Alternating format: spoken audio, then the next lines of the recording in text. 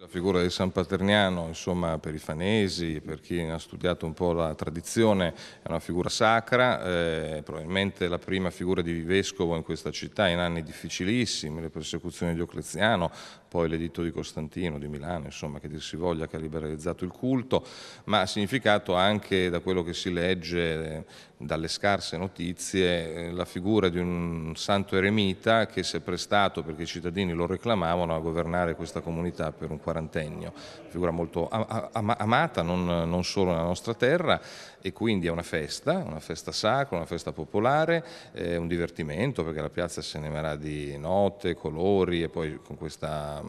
estrazione che si collega anche un po' alla fortuna, tuttavia c'è un altro scopo benefico che è la carità, la, solidarietà, quindi i proventi di questo montepremi che è importante perché si aggira sui 2.000 euro, il montepremi, i proventi vanno per opere di bene a disposizione del Vescovo e a disposizione dei frati di San Paterniano. Un atteso appuntamento tutti gli anni, è diventato una tradizione imprescindibile dell'estate. Eh, sì, noi abbiamo già diciamo, i ragazzi che stanno, eh, stanno vendendo i biglietti eh, con questa maglietta gialla e, eh, diciamo, tutti sono autorizzati a, a, vendere i biglietti già in giro, poi domenica sarà il clou della, della tombola.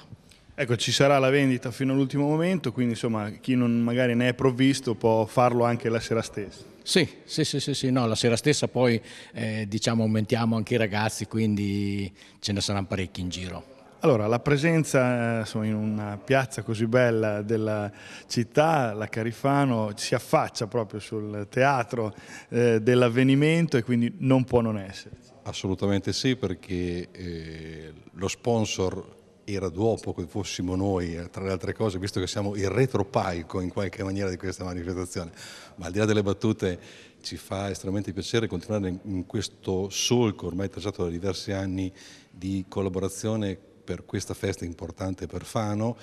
importante per, come diceva il vice sindaco prima, anche per gli scopi eh, benefici di questa cosa che viene in aiuto alle varie attività che svolge comunque la comunità di San Paterniano che in questo momento storico sicuramente è molto molto importante. E non, e non secondo perché siamo comunque sia Carifano che gruppo Credito Valternese, essendo ormai una banca ultracentenaria, voglio dire, perché non legarsi alla manifestazione più centenaria di Fano in qualche maniera?